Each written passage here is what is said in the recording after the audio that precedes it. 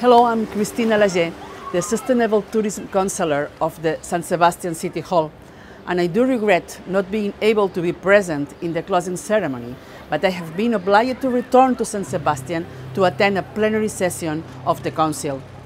I wish to say that I will take away a wonderful and lasting impression both of the sense and the organization of this memorable event, and that San Sebastian welcomes you with its arms open.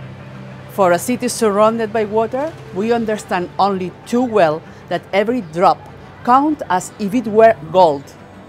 This is why we are truly honored to have been chosen as the next venue for this Congress.